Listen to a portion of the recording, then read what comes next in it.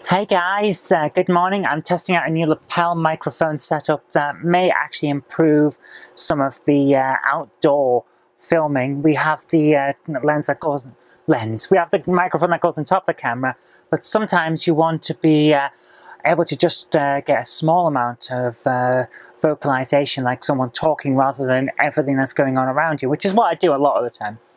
So we're trying this out, and if this works, it'll be very nice and also help with some of the podcast ideas that we're doing. Well, that works. Excellent. I seem to touch my face an awful lot while I'm thinking, but yeah, the sound actually works and it sounds warm and quite good. Yeah, I think that's going to work out all right. So that's nice. You may have noticed I am totally flushed, and that is because it's very, very humid again. Never used to be like this in summer in the UK. It used to be hot, but dry and nowadays it's more like uh, a wet heat. It's like being in a shower all the time. That's not good. So climate change, I don't care what people say, climate change is happening. I'll argue uh, and happily argue over what's causing it. We don't really have uh, full data on that, but it's definitely happening. So let's uh, let's put that aside, shall we? Come on. I think we can all agree that what we get now isn't what we used to get. Anyway, I've got today a lot of work in the office. My toe is still uh, severely damaged, so walking around is still a problem, but my knee is healing, so Game Hammer, hopefully we'll get that back in the next week or so. But for everything else, I've got a lot of work to do. Let's get on. So, the reason that I wanted to test the lapel mic is because I'm currently sat in the uh, lounge. The lapel mic is actually on the sofa instead of being attached to me, so I can move around a little bit more without pulling the camera because I quite a distance. And if I was recording with the camera's microphone, it would be very echoey in here. Hopefully this is a bit more focused.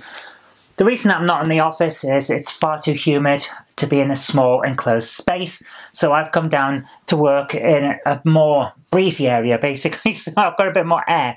But I want to do a few uh, questions and answers today. That's the main thing. So I'm going to start with uh, the, the furthest back question I've got and then move forward and uh, hopefully this looks alright for you. So, what we have here is Retro Mickey 82 on the uh, Let's Laugh at uh, DVDs.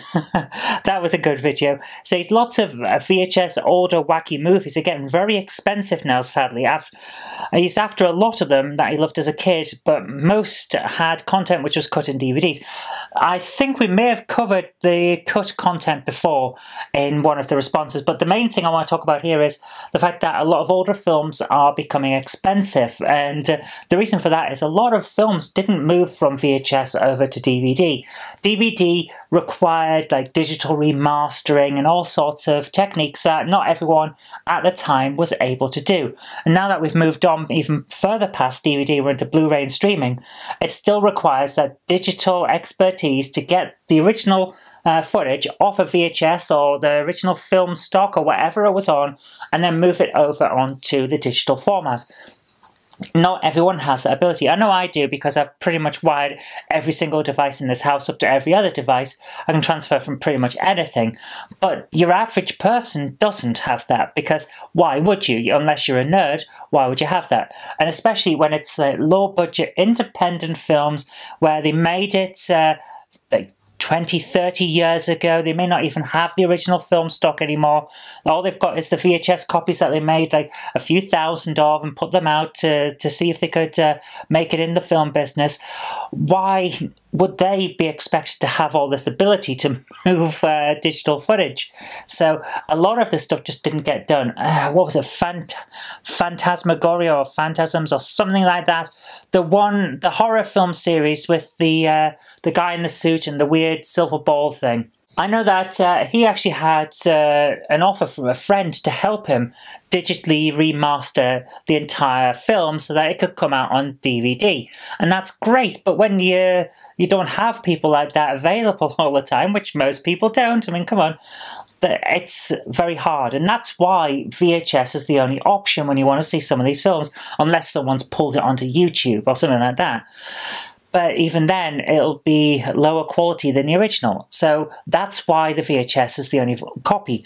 And since these were often low print run and certainly aren't available in any other format, if you want to see it, you've got to get the VHS. So laws of supply and demand, price goes up. Only to be expected. Doesn't mean it's nice, especially for those of us who actually want to see the thing, but it's it is how it is, and that's just that's just the situation. Hopefully, nothing of mine will ever be in that situation because I do like to keep things up to date.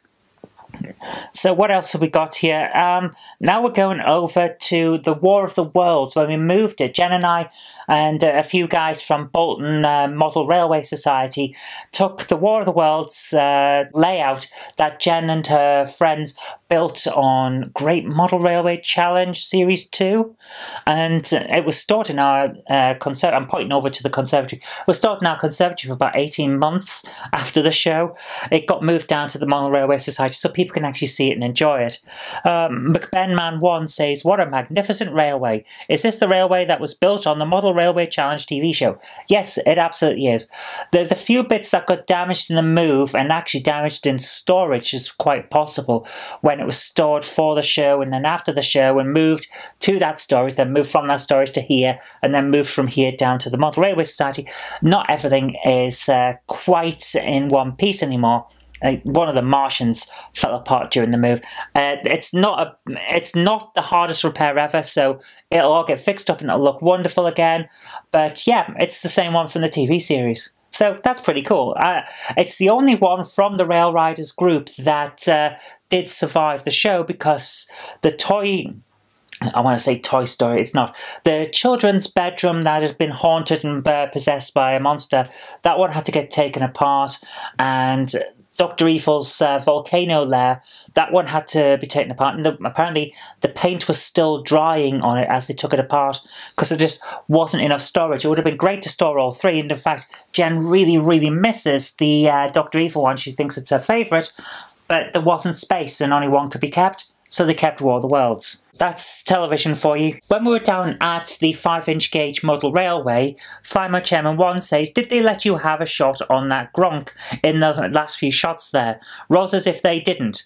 It looked like a great day out for everyone. Uh, no, I didn't go on the uh, ride on Gronk. That's a Class 8 uh, diesel shunter. That's about the only locomotive I know. Jen will be impressed by my knowledge of that one. She won't. She really, really won't.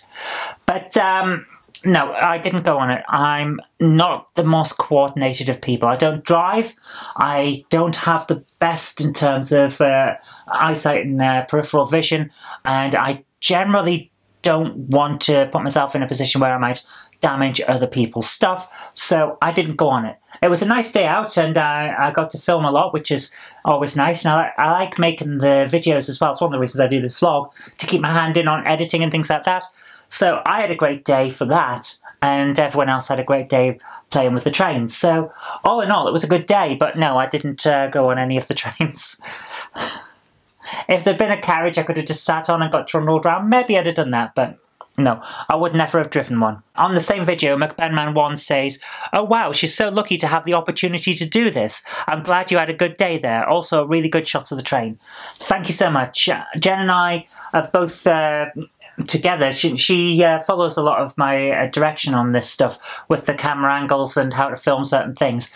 We worked out quite a while ago now some good angles that uh, give power shots of vehicles that we're filming and things like that, and it works so well. So I'm glad you enjoyed that because it was a lot of work to line up the shots and uh, edit everything together, but I think we worked out really well with that. So I'm glad you enjoyed it. And yeah, it was a great See what I mean? No coordination. And yeah, it was a great day out. Uh, on the same video, this is a comment that uh, doesn't seem to fit, but okay. Um, Hadley says, come back to Westhoughton, there's loads of graffiti.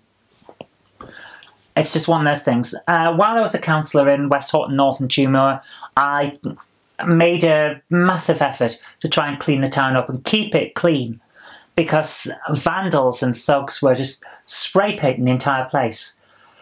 So when I lost the election and uh, I was basically uh, told on doorsteps that I wasn't doing anything for the community, I thought, what's the point? If I'm paying out my own money to clean this place up with by buying the, the supplies, none of it was council provided. Everything that I did for the cleanup was uh, provided by me. I thought, why bother? If I'm if I'm going to be told that I never do anything and that people never see me around, why bother? So I stopped. But the other reason is uh, when I started doing that cleanup, the vandals and thugs made a concerted effort to put out more graffiti. So, so it's like a combined thing. I'm putting all this effort in, and people are saying I never do anything, which is disheartening. I mean, I don't do it for credit. I never did. That wasn't the point. But to be told, oh, we never see you around, you don't do anything because I'm always out there, always doing something, that hurts. So I stopped. And also, if I'm going to be doing this and getting told I wasn't doing anything, and then they were just going to make more of a mess, in the end, what's the point? So it is what it is. The last but not least, uh, Terry Hooper on uh, the first video of this comeback with the vlogs says, uh, good to see a new video. Thank you, Terry. It's good to be back. It's I've wanted to get these vlogs back again for quite a while, but we've just been snowed under with stuff.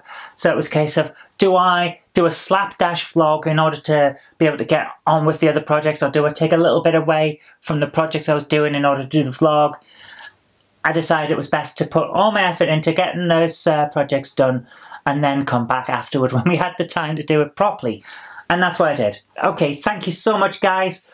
And, uh, right, that's it for Q&A. But that's not all, of course, because two years ago, we bought an archive hard drive.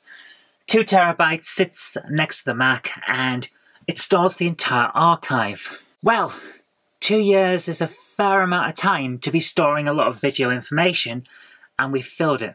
Well, I say we filled it. About uh, 50, 60 gigabytes is left on the 2 terabyte drive, so time to add another one. 4 terabytes this time. It's a tad larger than the uh, last one, but should serve us for a while. At least I hope it's going to serve us for a while.